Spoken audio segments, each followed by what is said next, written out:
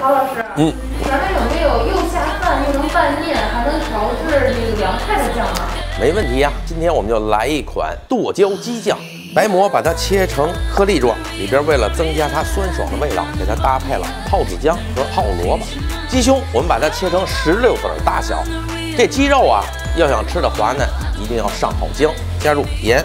水呢，我们要分三次补充，直到这个水分完全被鸡肉吸收。补充四分之一的蛋清，加入干淀粉。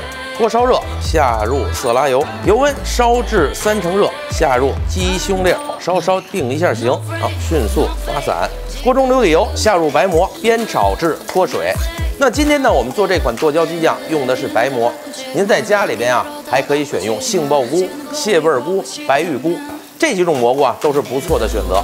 下入泡姜、泡萝卜，一定要小火把这萝卜呀和泡姜的水分给它煸炒挥发出去。下入剁椒，刮好的鸡肉，调入蚝油、美极鲜酱油、清水、白糖。起锅前加入少量的香醋、香油。平时您拌个米饭、拌个面条，或者是您做冷菜的一个基础调味都没有问题。